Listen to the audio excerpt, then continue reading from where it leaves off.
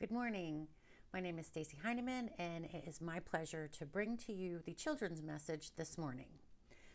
Before we get really into the lesson today, I thought it would be nice if we could do some breathing. Let's take a breath together. And I'm not just talking about a quick inhale or exhale, but real, true breathing. And when we inhale, I think we all know that we take in oxygen, which is something that our bodies really need to survive. But when we breathe, something really special is happening. And in the Bible, we hear these words from the book of Job The Spirit of God has made me, and in the breath of the Almighty gives me life. When we breathe, we also breathe in a spirit breath, and that is the breath of God, in which we take in our lungs along with the oxygen. And our bodies need this oxygen, like I said, to survive, but our souls, just like the oxygen, our souls need the breath of God to help provide healing from within. So let's try this exercise all together. We're going to take a deep breath in, uh, in through our nose, and we're going to hold it for a moment, and then we're just going to exhale slowly out of our mouths. Okay? So let's do this all together. All right, ready? Deep breath in. And hold it. And exhale. That was great. You did a great job. Let's do it again. Okay, one more time. Take a deep breath in. Hold it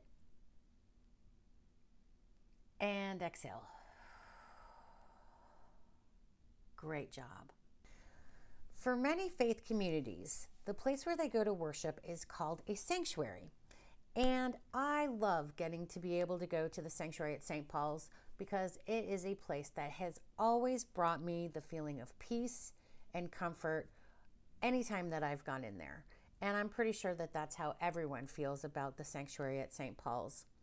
But did you know that sanctuary does not necessarily mean the church where there's an altar and the pews and the organ and the stained glass windows? Sanctuary actually means safe place. And there are a lot of different types of sanctuaries. They have sanctuaries for all kinds of animals like birds where they are the birds are taken to a sanctuary when they're injured and need to be rehabilitated or if their um, habitat has been uh, destroyed or damaged in some way. There's elephants are in sanctuaries so that they can live happily without having worried about being hunted. And there's you probably heard the saying of sanctuary cities within our country. Well, a church sanctuary is a place where God's people can go to feel their feelings and to understand what they're feeling in a safe environment uh, where they feel the comfort of God's love and that they are safe there in experiencing and trying to understand their feelings. And those feelings could range from happiness or sadness, joy, fear, anger, and being able to understand and experience those feelings um, in the community of one another in the sanctuary of St. Paul's is something quite special. But one of the very big challenges that everyone has had over the past year is how to keep providing this feeling of safety, of this safe place, this sanctuary um, during this pandemic. And a lot of churches have made the very hard decision to postpone um, in person worship like we did. St. Paul's did close down for a while until we felt it was safe where we could get back together. And some churches never shut down and they continued their um, in person worship, but they had to implement new rules to keep everybody safe. So they would ask their congregants to wear masks and sit at a distance and make sure you use hand sanitizer and you know no handshakes and no singing um, but we these decisions were made um, to really keep everyone safe.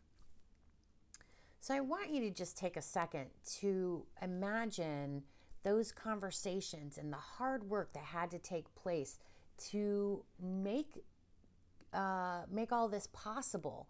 Uh, you know, with the closing down of in-person worship, how do we still provide that service to people? And so a lot of places, like we did, went online and trying to keep everyone engaged and but keeping everybody as safe as possible. And no matter how well different places tried to provide the best that they could for their community, it just wasn't the same. And what could it be that we could do for ourselves at home to create that sense of sanctuary for ourselves? And I had an idea. I'd like to share something with you. This is what's left. And you can see it's pretty cut up and torn up and old and it has holes in it. But this was my blanket that I used to carry around when I was a child. And I carried this around all over the place because it provided me a sense of comfort and security when I needed it. And I loved this blanket. And even though I keep it stored away in a box now, um, it still provides me comfort knowing that I still have what's left of my childhood blanket. But you can also see behind me, I have my other new favorite blanket. And this is the one that I use when I need some comfort at home. Um, you know, it's colder, it's winter, and sometimes when I just need to settle down and kind of take a time out, I like to sit in my favorite chair, which is a chair that was from my grandfather, and my blanket, and I just get all wrapped up and feel really comfortable and cozy and warm and I just it just makes me feel good. And a lot of times what I do, I know people use blankets in lots of different ways, but for myself, I love to wrap it around me. And it just provides me a sense of comfort and warmth and security. And so I was wondering if maybe you all have a special blanket or maybe um, a special sweater. This is one of my favorite sweaters that also provides me that sense of security. It's big and soft and warm. Or maybe there's a bathrobe that you have that provides that feeling. And so I invite you to find that one thing, whether it's a blanket or your sweater or, um, like I said, a bathrobe, and wrap it around yourself and feel the comfort and warmth that it brings you. Maybe a sense of love because it was given to you by someone special. And when you wrap it around yourself and wrap it around your shoulders and snuggle it in real tight, I want you to think of all of us at St. Paul's embracing you, that, that sense of community and love that we get when we go into the sanctuary in person for worship, that sense of belonging and love that we feel. Imagine that wrapping your wrapping itself around you while you wrap yourself in this blanket. And think about your family and friends and imagine them giving you this hug, this warm embrace of comfort and security. And I also invite you to think of God giving you a great big hug. During these difficult times, we haven't gotten to experience this contact outside of people that we live with. And I think that's what everybody really misses is that healthy, loving community spirit of shaking hands and seeing each other and hugging.